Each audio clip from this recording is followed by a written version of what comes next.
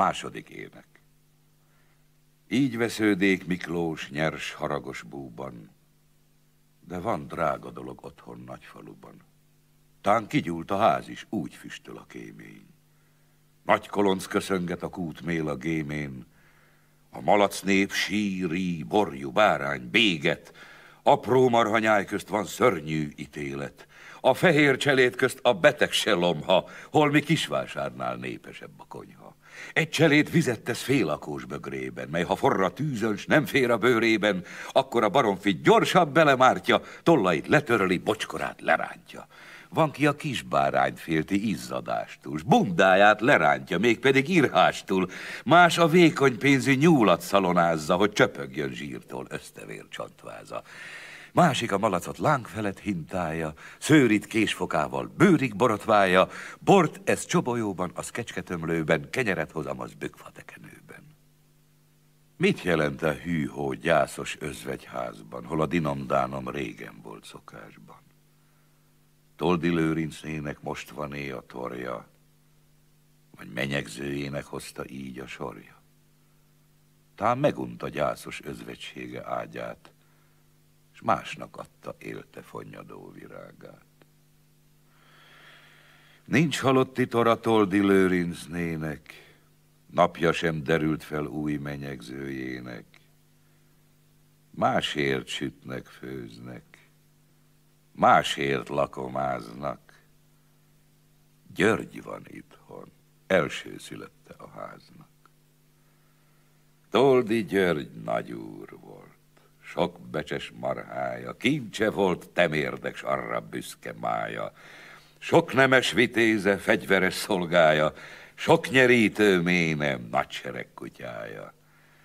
Látogatni jött most, negyvened magával, renyhe sáska népnek pusztító fajával, és a kézhaszonnak egy felét fölenni, más felét magának tarsolyába tenni. György az édesanyját hidegen köszönté, bár ez a lelkét is majd elébe önté. Hát a másik hol van? Fanyalogva kérdi, senki sem hinné, hogy kedves öccsét érti. Szénát hord szegényke künn a béresekkel, hívatom, de György úr ezt rikoltja, nem kell, nem kell. És e két szó úgy esik anyjának, mintha a szívébe nagy kést mártanának. Nem kell. Ím azonban kelletlen, hivatlan, a fiú betoppan, szíve égő katlan, belsejét még most is fúrja és faragja szégyenítő búja, búsító haragja. Mégis mind a mellett mi Isten csodája, egy zokszót sem ejt ki Toldi Györgyre szája.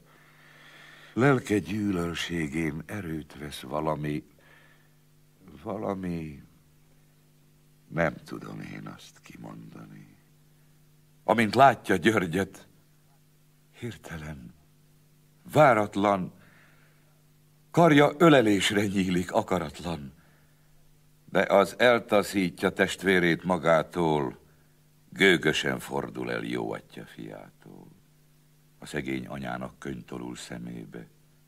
Kőszívű fiának sírva lép elébe, reszkető ajakkal kezefejét gyúrván, ott reménykedik, de György korholja durván. Úgy, anyám, Kecsegtesd ölbeli ebedet, ójat fúvó széltül drága gyermekedet, már csak tejbe vajba, mit se kímélj tőle, majd derék fajankó válik úgy belőle. Most van a dandárja réter a munkának, de foga nem fűlik ahhoz e gazdának, mint kopó, megérzi a zsíros ebédet, s tővelhegyel összehagyja a cselédet. Így sírattad mindig, én ha mondtam néha, nem válik belőle semmi, csak nagy léha, hogy parasznak is is rossz, lebzsel, kész akarva. Noha bírna dolgot, mert erős, mint marha. Most tehed ablakba, húsa és kövére, szépen nő naponként anyja örömére. Szól a György kitoldá a szót egy kacajjal, melyre Miklós felbúg tompa hosszú jajjal. Átok és hazugság minden igaz hátban. Egy betűvaló sincs Toldi György a vádban. Jól tudom, mi lappang bokrodnak megette. Úgy szeressen Isten, ahogy engemette. Rossz vagyok parasznak, rossz vagyok vitéznek. Béresek között is től cudar csihésznek. For epét, hogy más is márt veled egy tálba. Vesztenél, ha tudnál egy vizes kanálba. Azért, hogy senkinek láb alatt ne legyek, nem bánom én, igen, akár ma elmegyek. Száz mérföld a világ erre is, arra is. Nem bánom én, igen, elmegyek én ma is. De ami az enyém, azt elvisze mindet. Add ki, bátya, tüstént, ami engem illet. Add ki a jussomat, pénzt, paripát, fegyvert. Azon túl az Isten áldjon minden embert. Itt a juskölök! Ne mondd, hogy ki nem adtam! György kiált, és arcú csapja szintú csattan. Toldi Miklósnak sincs ám galamb epéje, Bosszúállás lelke költözik beléje, szeme, mint az acél a szikrát úgy hányja, ütni készül ökle csontos buzogánya. György ijedve hátrál, oda van egészen, e csapás utolsó szélütése lészen, s Györgyöt e csapással hűs verembe tennék.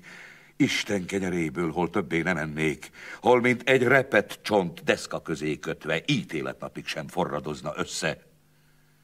De midőn az öccse éppen megrohanja, elsikoltja magát, és közéjük fut anyja.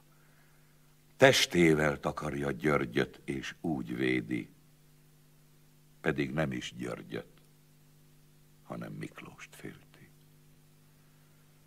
Most a szörnyű gyermek karját elereszté, fejét és szemeit búsan lefüggeszté,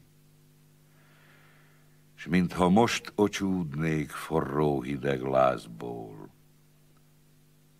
tántorogva ment ki az apai házból. Méne elbusulva, némán haragjában, és leült az udvar távolabb zugában. Ott fejét a térdén tenyerébe hajtá, és zokogott magában, de senki sem hallá.